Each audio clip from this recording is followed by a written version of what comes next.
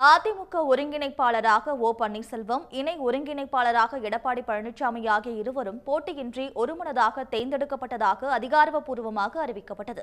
அடுத்த ஐந்து ஆண்டுகளுக்கு அதிமுகவின் ஒருங்கிணைப்பாளர் இணை ஒருங்கிணைப்பாளரை தேர்வு செய்வதற்கான தேர்தல் அறிவிக்கப்பட்டது. அப்போது இரு பதவிகளுக்கும் ஒரே ஓட்டு என்ற குழப்பமான அறிவிப்பும் வெளியாகியிருந்தது அதன்படி ஒருங்கிணைப்பாளருக்கு ஓ. பன்னீர்செல்வமும் இணை ஒருங்கிணைப்பாளருக்கு எடப்பாடி பழனிசாமியும் வேட்புமனு தாக்கல் செய்திருந்தனர். அவர்களை எதிர்த்து வேறு யாரும் வேட்புமனு தாக்கல் செய்யாததால் இருவரும் போட்டியின்றி தேர்வானதாக தேர்தல் ஆணையர் பொன்னையன் தெரிவித்திருந்தார்.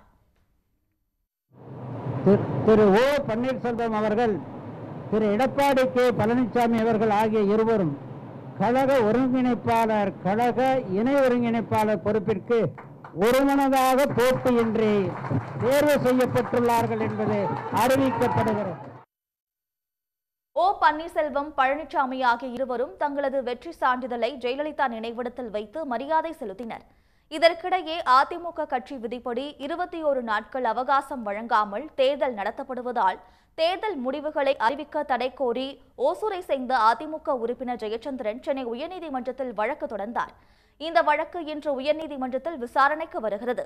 இதேபோல் தேர்தலில் கட்சி விதிகள் முறையாக கடைபிடிக்கவில்லை என்று பாலகிருஷ்ணன் என்பவர் தொடர்ந்த மற்றொரு வழக்கை விசாரித்த உயர்நீதிமன்றம் அது குறித்து கட்சியின் தேர்தல் ஆணையர்கள் பொன்னையன் பொள்ளாச்சி ஜெயராமன் ஆகியோர் விளக்கம் அளிக்க உத்தரவிட்டு வழக்கை வரும் மூன்றாம் தேதிக்கு ஒத்திவைத்தனர்.